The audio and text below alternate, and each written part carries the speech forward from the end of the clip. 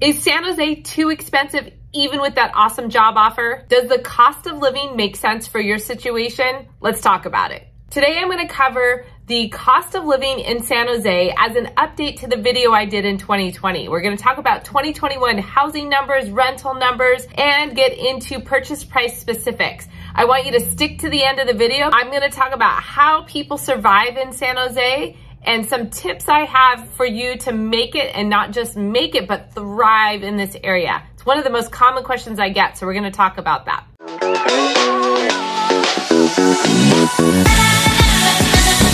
So looking at my screen here, you see that the population in San Jose has actually started to go down a little bit. In the 2020 video, I said that there was about a 9% increase in population from 2010, but we are actually seeing a little bit less than that. We're now only up about 6.7% from 2010 because some people did leave.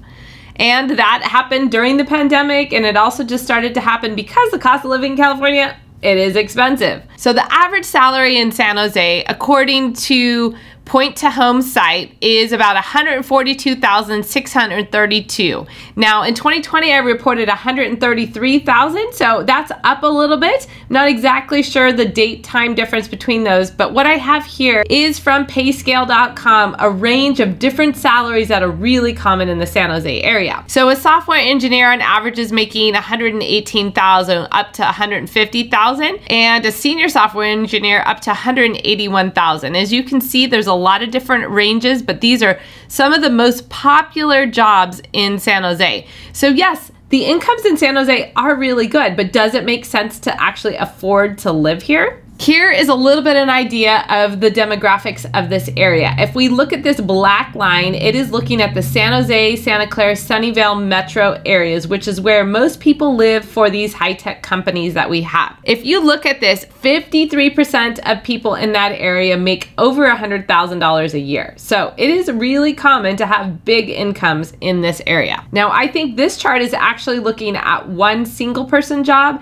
but many households in San Jose area are actually dual income. So that's another factor to consider. So the cost of living in San Jose is definitely more expensive than many other areas. One of the biggest is energy bills. It's 45% higher than the national average, primarily due to our power or PG&E electric bill, as well as water, which are both expensive because California doesn't have a lot of water and tends to be a drought state quite often. So those items are valuable and very expensive. Though a lot of homes do put on solar to help the power cost. Now, housing, we all know housing is really expensive and it is 53% above the national average. So let's take a quick snapshot here of a rental because if you're moving from out of the area, the first place you're probably gonna land is a rental. In 2020, I said a two bedroom condo or apartment was renting about $3,000 a month. That still applies today. Here's a new updated snapshot of Zillow. You see this three bedroom, two bath home renting for $4,000 a month. It actually says condo, which I'm not quite sure why that is, but this is a home in San Jose and actually in Almaden Valley. Here is a one bedroom downtown apartment for 24.25 and down here you see a two bedroom one bath not in the best area maybe but it is all the way down to $1900 a month. So that is a deal. So it's pretty accurate that for a two bedroom apartment or condo you're going to pay about $3000 a month. You can get it a little bit cheaper if you're willing to sacrifice on some of the amenities or the location. Now let's look at the housing prices from September 2020 these are what I reported in that last video. As you can see the average home price was 1.337 million. I'm actually going to focus on the median. Sorry, is 1.242 in September 22 or 2020. So what is it like this September 2021? Um, I'm recording this video a little after that, but I wanted to do one year jump.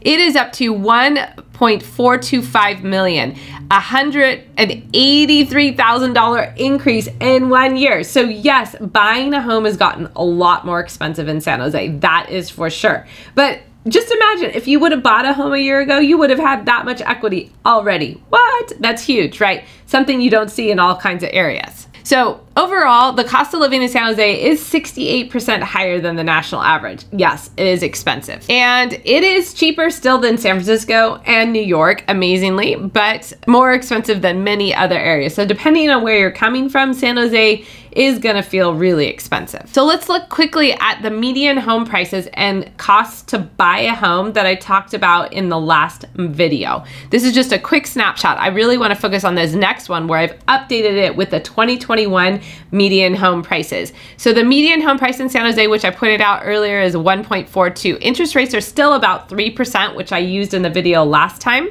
but that's a $616 a month increase in the median home price just because the appreciation of homes. Now, a San Jose condo has not appreciated very much.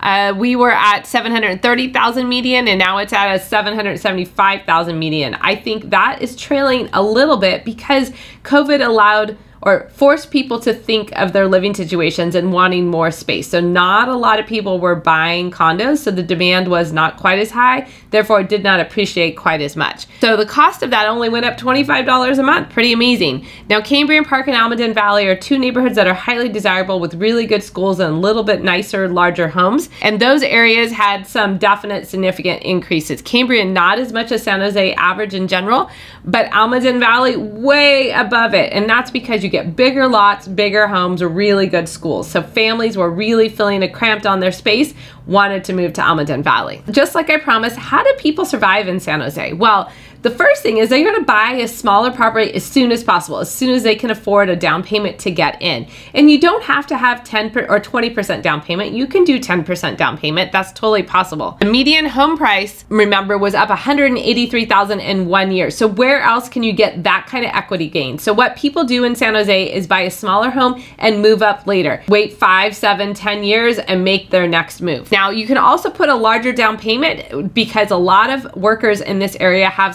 stock options or RSUs. So if you can put more than 20% down, you decrease that monthly payment and make it more affordable. And the third thing is most households I hinted to before are dual income. So if you both are in high tech, you definitely have a larger income and a larger proportion of that money can go towards your housing. So nowhere else can you see this kind of equity gain of 14 plus percent in one year. So yes, it's expensive to live in San Jose, but there are many benefits besides the weather to growing your wealth. So next I want you to watch the San Jose Best Neighborhoods video because it'll give you an idea of what's available out there. Secondly, watch this video I just did about should you still buy a home in San Jose today? It's gonna run through some of the numbers and give you an idea of really what it costs and what the benefits are like I hinted here with equity gain. All right, talk to you soon.